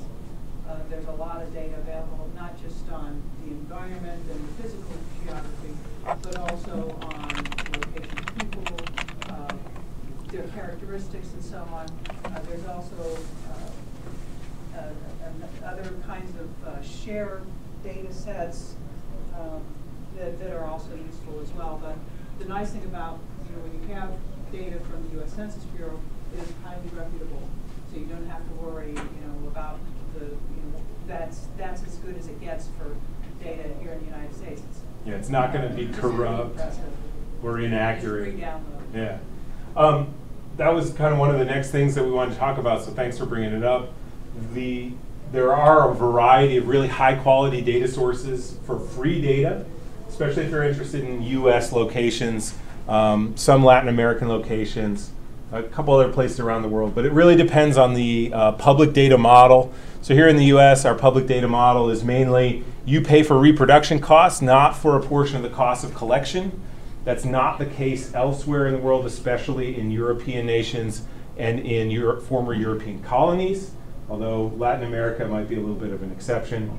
So, like um, in the United Kingdom and in mainland Europe, if you want to get access to government data, in many cases, if it's not remotely sensed data, in many cases you have to pay not only for the cost of getting you a copy of it, right, but also a portion of the co- original cost of making those data, which means that data that we get for free here may cost many tens of thousands of dollars, even depending on the scale. So we're actually pretty lucky to live in a place with open data access in a lot of cases. So in Indiana, if you're interested in doing a project here, there are two data sources that have really high quality data. One is Indiana Map. If you go to indianamap.org, the data and resources button here, um, and then choose one of these. I usually go to the layer gallery, but you can you interact with this through an online map. There's uh, demographics, including um, prepackaged census data, environmental data, imagery, including high resolution air photographs, LiDAR data if you want to work in 3D, using point clouds, all sorts of stuff, right? If you want imagery data, um, most of the imagery data is actually available at gis.iu.edu, um, at the Indiana Spatial Data Portal. Again, these are free, they are high quality, they're packaged. When you create an order, it may take a little while for them to get it to you because they're literally, uh, there's a tape pulling robot that you know, pulls the data back backup tape and puts it in a reader for you um, over there in Bloomington. But it's, it's really high quality data about Indiana. If you're interested in working more uh, in the United States still, but um, kind of more broadly outside of Indiana, uh, each state, almost every state, has some form of geographic data portal. Some states, like Indiana, are really good at that. Some states used to be good but are not as good today. I'm going to call out Michigan in this regard. Some states are way behind, um, Illinois being one of them. So, depending on where you work, you may get good state level data, you may not. Um, but at the national level, the national map has a lot of this stored in one easily accessible place. The Census Bureau also has geographic data you can download. So you download the geographic data and then the tabular data and then create connections between the two in ArcGIS Pro. Um, most of the federal agencies, especially the ones that deal domestically, have GIS data like Fish and Wildlife Service or the Park Service. Right, Department of Interior in general will have on each of its agency sites in various places geographic data. And then even data.gov will have spatial data in the United States. Um, if you're interested in, in imagery data, there are two sources uh, that I'd like to, uh, to kind of point out. One is Earth Explorer. Um, Earth Explorer is a USGS site. This is where you can get most Earth observing satellite data that NASA and even the ESA and some of the other European partners make available for free or low charge, uh, low cost. Um, you have to create an account, but you can access all kinds of imagery data at this portal. Uh, another similar platform, same data sets, just a different interface and interacting with it is called Glovis, the global visualizer, right? Um, and then, you know, if you're interested in working outside of the United States, it's kind of, it just depends, right? So I work in Brazil. Brazil has very good federal level data access modeled after the United States. Um, I have colleagues who work just not too far away in Colombia, and it's a totally different story, right? Um, data like census data are very difficult to come by, mainly due to the longstanding kind of civil war conflict that's happened there, right? So it sort of depends. Uh, if you want to work in China, good luck, right? Because spatial data are, are almost invariably classified as a state secret. So, you know, it sort of depends on where you want to work and what data are available. That said, you can often get basic data using processing satellite imagery, either visually or through some algorithms to get some of that base data for almost anywhere on Earth. Finally, there are private data providers um, that will allow academics a certain allocation of high resolution satellite data if you're into this, uh, if you request an account. So one of these is uh, the Planet Imagery Company. So they run um, a couple of different satellite platforms, but they're into microsatellites. So they launch these microsatellites in orbit, and after a two-year period or so, they burn up in the atmosphere and they just launch more. It's a little bit wasteful, but they have three meter data for most places on Earth on a very reliable, on a fairly good repeat cycle. Um, and you can ask for uh, something like um, 1,800 square kilometers of data a month or something. Um, so that's another option if you want to use high resolution data for an outside the US place. Um, Dr. Obermeyer is completely correct. The amount of data that's freely available is mind boggling. And there's a good chance that with some creativity you can do a GIS project almost anywhere, covering almost any time since at least the mid 1980s. And if you use some of the techniques we talked about with georectification and digitization, you can go back in time as, as almost as far as you can go. So one example of a GIS project I did a number of years ago was to look at um, historical maps of the Brazilian Amazon showing anthropogenic soils all the way back to the 1520s, right? And you can't exactly link the location, but you can find pretty close to where those locations were and constructed the first, me and a, co-author, she, she was the lead author, created the first map, comprehensive map of Amazon dark earth soils that was ever done, right? There were a lot of regional maps. So you can use these techniques to go back in time quite a long way. It's just it, kind of limited by your time, creativity, and what data you can scrounge up that you can turn into. Uh, in the last couple of minutes, I think Dr. Badillo wanted to show 3D, ArcGIS and 3D. You want to plug in here? Yeah, yeah, I'll plug in there. Um, a few comments, and I'm, I'll, I'll make these few statements here, and I know at 3 o'clock people probably need to get going. I'll start in and showing a few things, if you need to go, go ahead. But if you want to stick around, I can continue showing what, what I've been doing. Um, but my comments really are for new users. How many people are new to ArcGIS or just want to maybe incorporate it? But I, I, my advice would be stick to number one, number two, and really get to know the interface first. Learn how to create some feature classes, uh, manipulate data, maybe load in attribute tables, um, and then start in on, on three. Once you feel comfortable with one and two here on the on the little handout we've got. That's kind of my two cents there. And then also, I've been working with um, GIS for about 11 years now, and ArcGIS Pro is brand new to me. I've been using the training that they have in Esri, and that's kind of how I've learned in the last six months how to use this software. So if you're trying to transition from ArcMap 10 point whatever to ArcGIS Pro, my advice is maybe dabble in some of that training.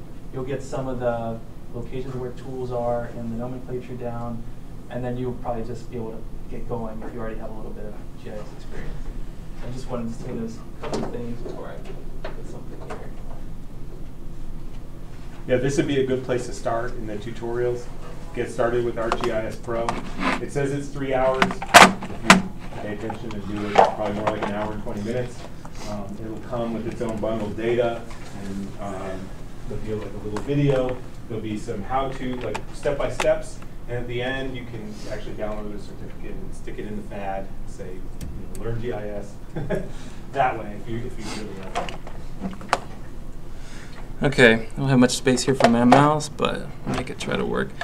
Um, so here's ArcGIS, ArcGIS Pro's interface, and I'm just going to show you a little bit about a project I work on in Peru, in southern Peru. Kind of give you that location there.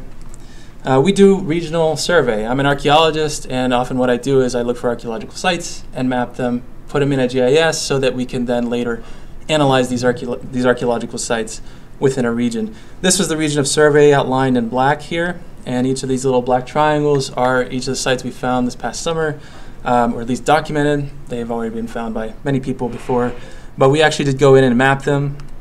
Um, one of them I had kind of prepared the imagery that we put together. For these sites, I had to create these little polygons using that create polygons or create feature class uh, steps that we were talking about before. Here's where I was able to load in an attribute and label it with those attributes.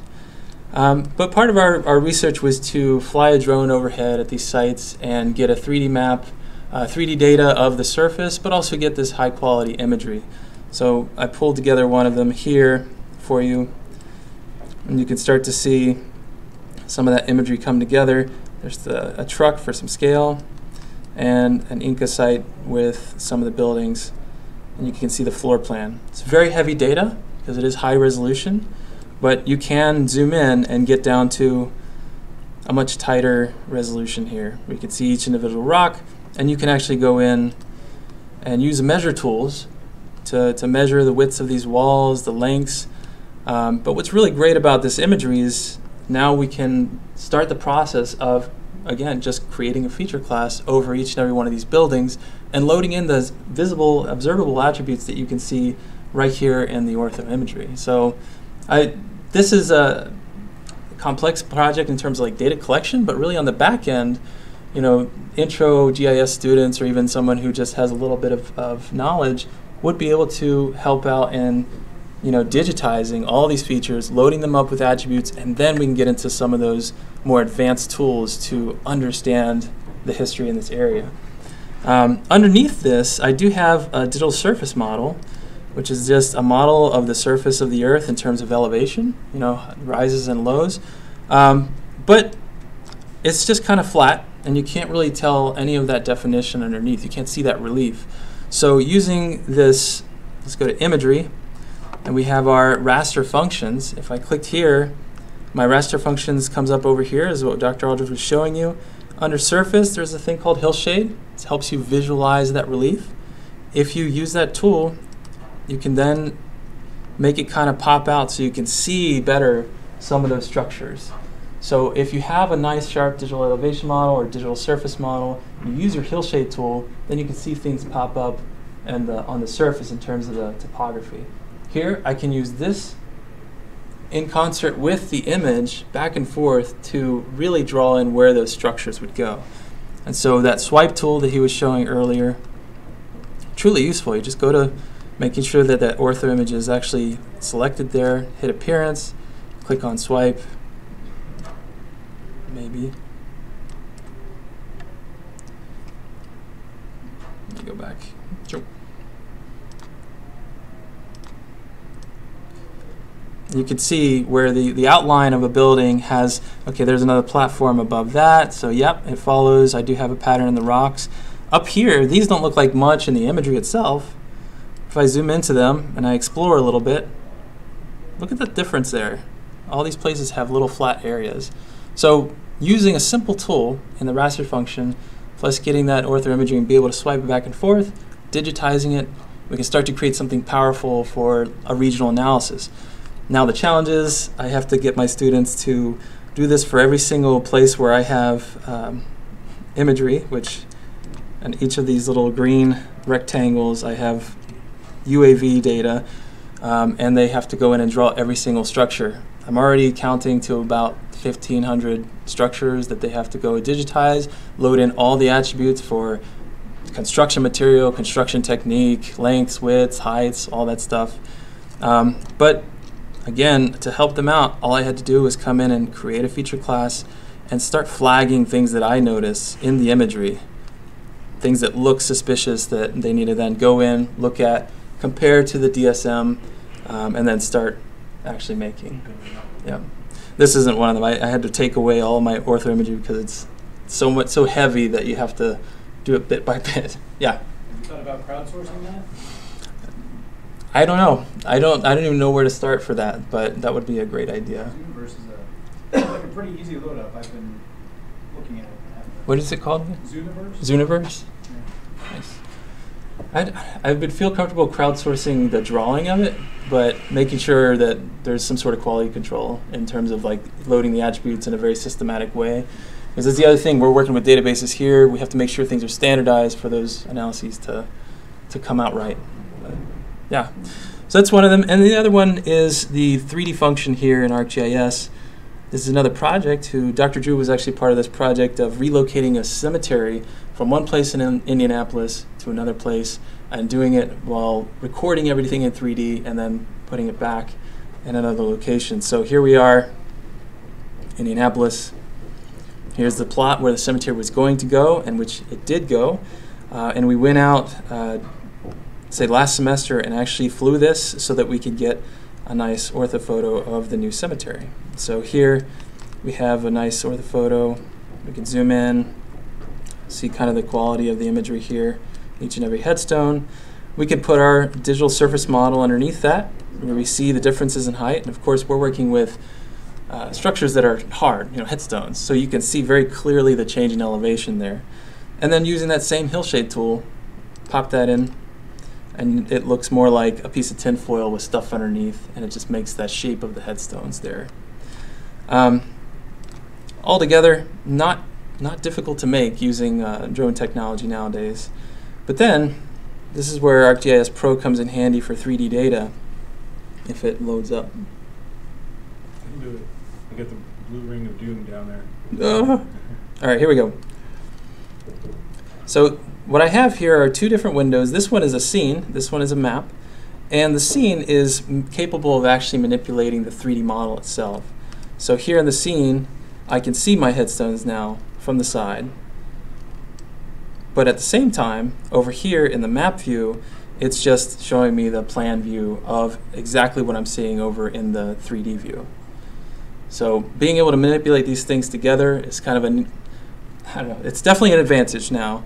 Um, we have other other data sets here that we're planning on using this for, so that we can um, see even underneath the ground, which is something else that can that ArcGIS Pro can work with, is seeing, let's say, earthquake data on in the subsurface and doing an analysis of those things.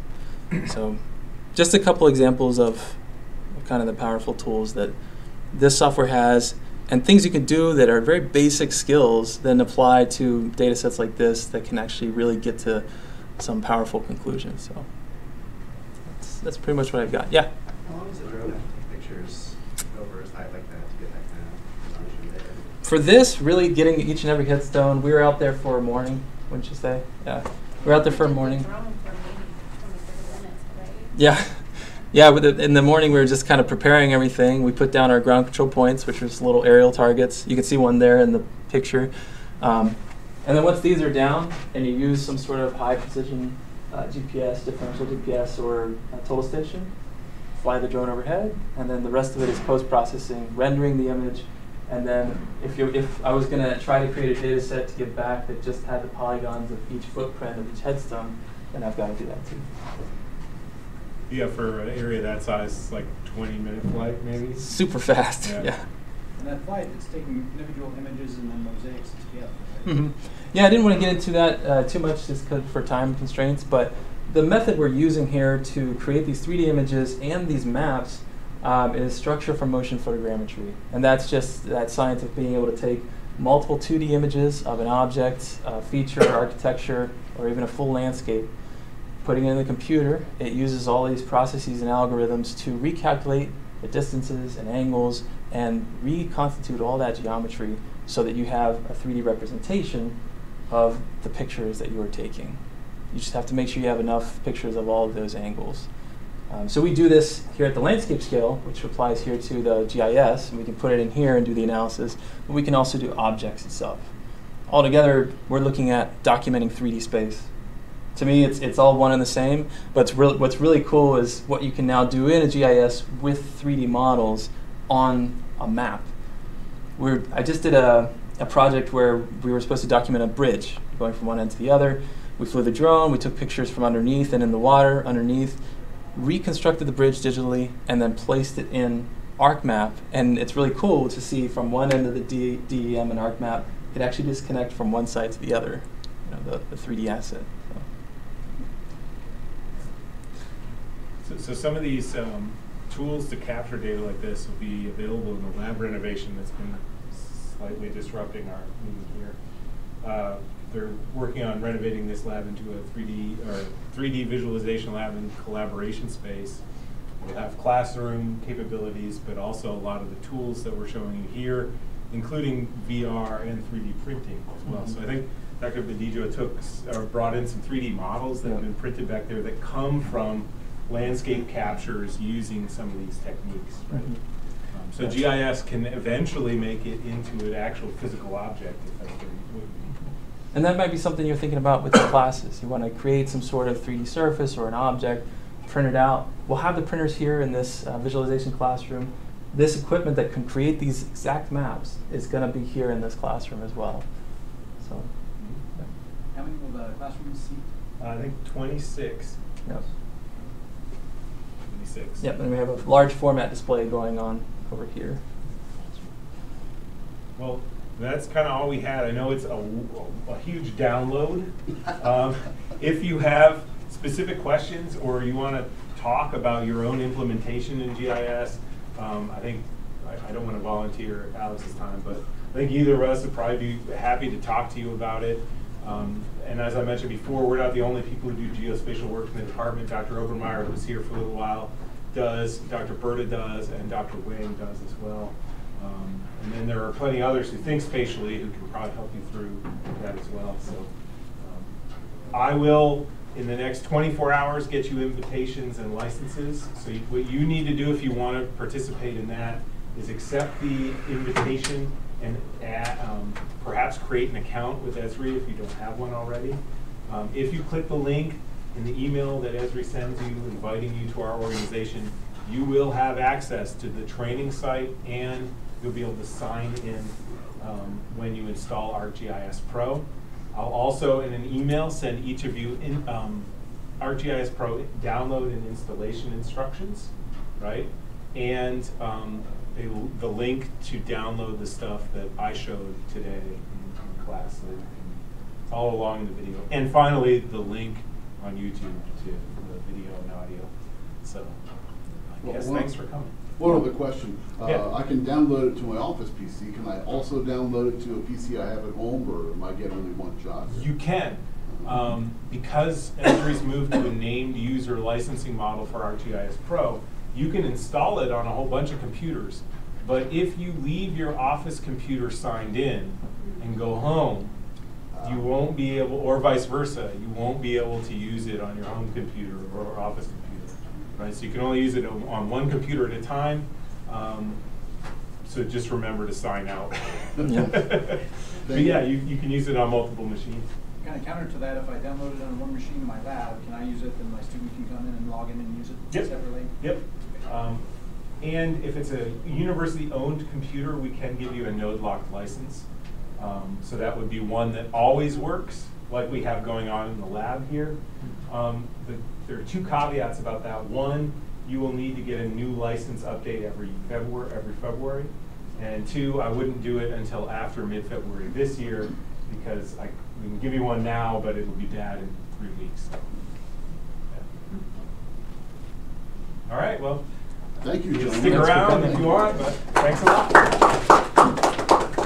And if you haven't signed in, please do, because that's the only way I'm gonna know for sure to send you info on how to use this stuff. Let me get that out of the way. That's fine. And feel free to handle the 3D objects in the back.